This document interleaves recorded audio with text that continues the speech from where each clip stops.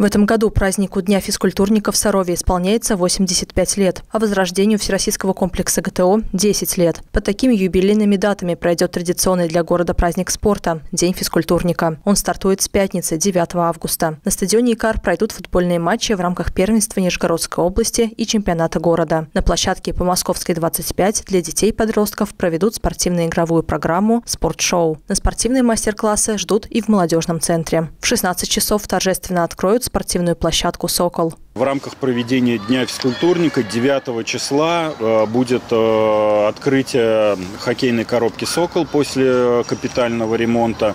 Там тоже состоится спортивный праздник, э, будет турнир по флорболу, будут игровые точки спортивные, тоже будет интересно. Начало в 4 часа. Основная программа Дня физкультурника пройдет в субботу, 10 августа с 9 часов. Откроет праздник на стадионе «Икар» «Фитнес утро». Программа «Саров. Территория здоровья» и летний кубок по баскетболу 3 на 3. В 10 часов состоится торжественное открытие и парад спортивных федераций. Также активное участие принимает городообразующее предприятие, проводя а, соревнования резвый, дерзкий, спортивный. И войсковая часть а, тоже делает достаточно большую площадку для горожан с тематикой СВО. Впервые в этом году мы проводим цифровое двоеборье. Ну, это как бы phygital спорт – это у нас будет phygital баскетбол. На баскетбольной площадке начало будет в час.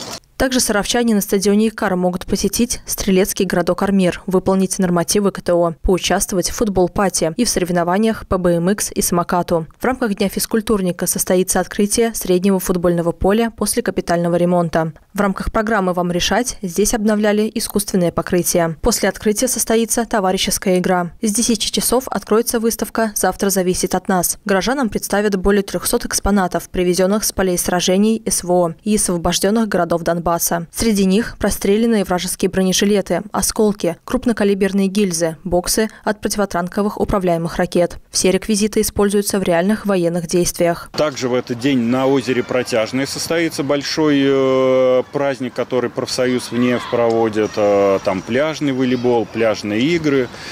Вот. Э, на лыжной базе пройдет триатлон. Вот, соответственно, весь день горожане могут принимать участие и смотреть спортивные мероприятия на той или иной локации. В 17.30 на стадионе «Икар» пройдет трансляция онлайн-игры «Калибр», а в 19 часов – музыкальный квиз «Крики чайки» без возрастных ограничений. Светлана Ярунова, Руслан Лапшин, Кирилл Новикевич, служба новостей «Саров-24».